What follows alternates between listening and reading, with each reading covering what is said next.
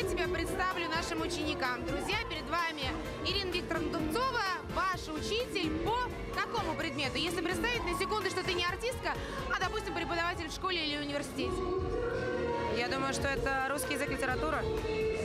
А вот почему? Ты действительно, может быть, из школы у тебя были любимые педагоги по этим предметам? Или тебе есть что рассказать?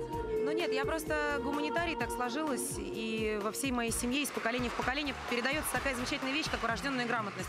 И даже мой восьмилетний сын Артем, а, закончив всего лишь первый класс, и очень мало зная о грамматике, пунктуации и так далее, он уже сейчас пишет, э, Липот знает, я периодически пересылаю даже переписки, вот, он пишет без ошибок, у нас как это в семье всегда было, и мне кажется, что учитель, конечно, из меня но если бы вдруг, то, наверное, это был бы все-таки русский язык и литература, и более того, похвастаюсь, э, когда я закончила школу, а, мне выдали от Министерства образования, ну, естественно, в городском масштабе, а, диплом, а, почетную грамоту э, за русский литературу, дающую право не сдавать сочинения при поступлении в ВУЗ. Потому что мои сочинения висели в, где-то там в Горано, Облано, или как это там называлось раньше.